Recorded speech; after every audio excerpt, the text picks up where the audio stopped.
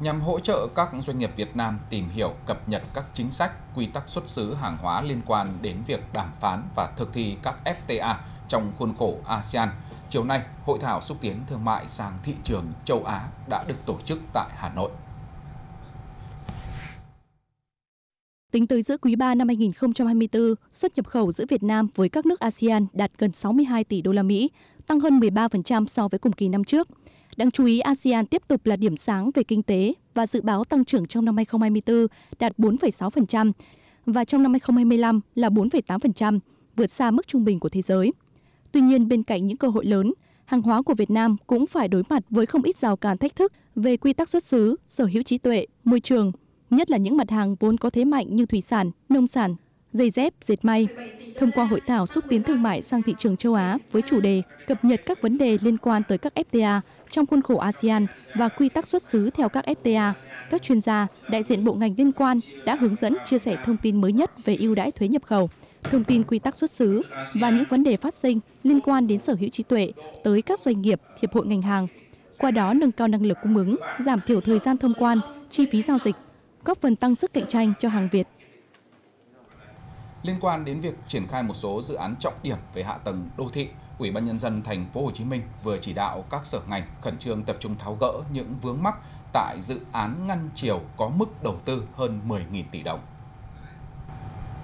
Để tháo gỡ vướng mắc trong thực hiện dự án giải quyết ngập do triều khu vực thành phố Hồ Chí Minh có xét đến yếu tố biến đổi khí hậu giai đoạn 1, dự án ngăn triều 10.000 tỷ đồng, Ủy ban nhân dân thành phố Hồ Chí Minh vừa giao Sở Giao thông Vận tải phối hợp Sở Xây dựng xem xét cấp giấy phép cáp ngầm và trụ Cần Vương tại cống ngăn triều Bến Nghé cho nhà đầu tư. Sở Kế hoạch và Đầu tư chủ trì phối hợp các đơn vị liên quan khẩn trương xem xét đề nghị của chủ đầu tư về đề xuất nguồn cát đắp nền các hạng mục thuộc dự án, sớm có văn bản hướng dẫn nhà đầu tư thực hiện theo đúng quy định. Phối hợp các đơn vị liên quan xem xét việc xác nhận khối lượng hoàn thành và xác nhận giá trị khối lượng thực hiện dự án, ra soát trình tự thủ tục điều chỉnh chủ trương đầu tư nếu có, báo cáo nghiên cứu khả thi và các công việc có liên quan, tham mưu đề xuất Ủy ban nhân dân thành phố trước ngày 10 tháng 11. Đến thời điểm này, dự án ngăn triều đã đạt tiến độ hơn 90%. Sau 5 năm thực hiện chương trình mỗi xã một sản phẩm ô cốp đã được triển khai đồng bộ rộng khắp ở tất cả các địa phương trên cả nước, được xem là giải pháp và nhiệm vụ quan trọng trong thực hiện chương trình mục tiêu quốc gia xây dựng nông thôn mới giai đoạn 2021 đến 2025. Đến thời điểm hiện tại, cả nước đã có gần 14.000 sản phẩm ô cốp, trong đó có hơn 70% được đánh giá 3 sao, khoảng 26% được đánh giá 4 sao, còn lại là sản phẩm 5 sao. Số lượng sản phẩm tăng nhanh theo từng tháng. Tuy nhiên, việc phát triển sản phẩm vẫn còn nhiều điểm hạn chế. Tại một số địa phương, sự chủ động vào cuộc của chính quyền còn hạn chế, thiếu các giải pháp hỗ trợ thực chất đối với chủ thể ô cốp, đặc biệt là nâng cao năng lực về tổ chức, quản trị, chế biến và thương mại sản phẩm. Nhiều sản phẩm chỉ quan tâm đến mẫu mã, bao bì, chưa chú trọng yếu tố chất lượng, nhất là gắn với thị hiếu tiêu dùng. Để chương trình ô cốp đạt hiệu quả và phát triển bền vững, hành lang pháp lý cần phải đi trước một bước. Đồng thời, các chủ thể ô cốp phải luôn có sự cải tiến sản phẩm phù hợp với thị hiếu tiêu dùng. Ngày 5 tháng 11, diễn đàn kết nối sản xuất và tiêu thụ chè chất lượng cao đã diễn ra tại Phú Thọ, hướng tới chiến lược phát triển ngành trồng trọt đến năm 2030, tầm nhìn đến năm 2050 đã được Thủ tướng Chính phủ phê duyệt. Việt Nam có điều kiện khí hậu và đất đai thuận lợi cho phát triển ngành chè, nổi bật với các thương hiệu như San Tuyết ở Hà Giang và Suối Giàng ở Yên Bái. Ngành chè thu hút hơn 6 triệu lao động và xuất khẩu sang 74 quốc gia. Diễn đàn kết nối sản xuất và tiêu thụ chè chất lượng cao, cung cấp thông tin về xây dựng thương hiệu và tiêu chuẩn kỹ thuật, giúp thương hiệu chè của Việt Nam hội nhập quốc tế.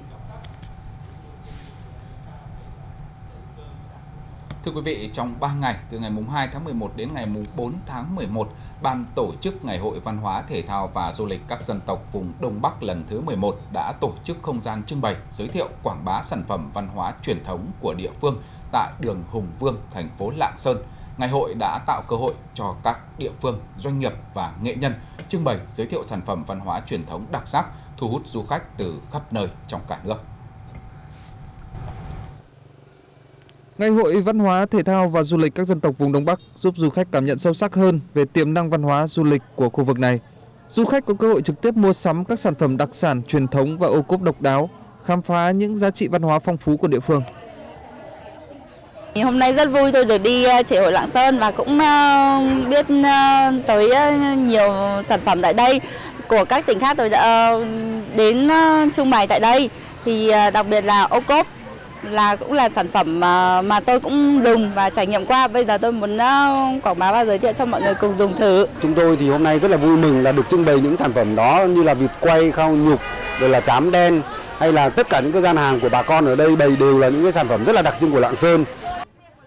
Những sản phẩm đặc trưng độc đáo có chất lượng cao được các tỉnh mang đến ngày hội để trưng bày giới thiệu. Các gian hàng được trang trí đẹp mắt, thu hút sự chú ý của khách tham quan. Trong đó có những gian hàng có thiết kế riêng biệt mang đậm nét đặc trưng của địa phương. Chúng tôi đem à, những cái sản phẩm đặc trưng của tỉnh Thái Nguyên à, đến à, tham gia ngày hội như là chè, gạo nếp, các loại ẩm thực từ gạo, bánh trái. Vâng, đây là dịp mà chúng tôi rất là vinh dự để được đưa quảng bá những cái sản phẩm của tỉnh Thái Nguyên đến với tỉnh Lạng Sơn và các tỉnh lân cận khác.